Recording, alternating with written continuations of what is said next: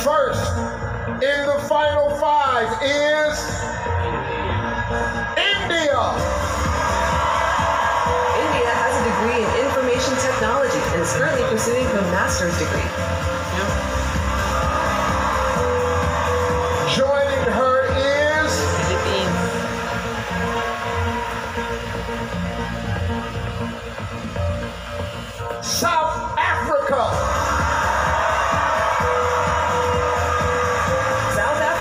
plans to become an attorney specializing in international humanitarian law. Three spots left in our top five, and one goes to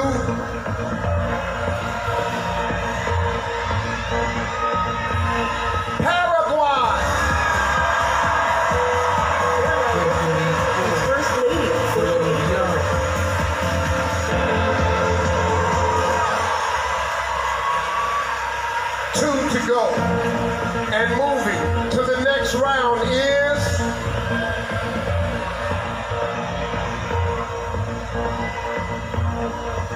Colombia. Colombia aspires to become her country's Minister of Education.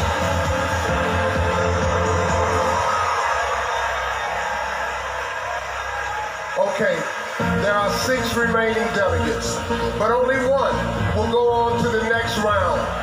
Last in the final five is